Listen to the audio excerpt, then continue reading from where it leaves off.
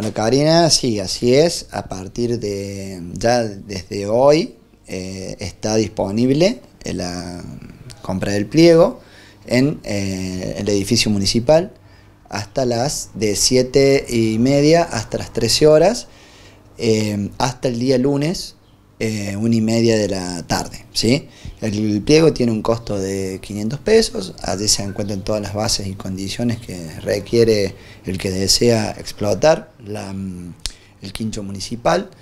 Eh, es como todos los años, este, así que bueno, los invitamos a quienes tengan el deseo de de poder, eh, eh, como repetí antes, explotar el quincho municipal, em, acercarse, retirar el pliego y bueno, realizar su propuesta. El mismo lunes em, eh, por la noche se hace la apertura de sobre. ¿La temporada cuándo iniciaría? Si hablamos obviamente de la temporada de pileta.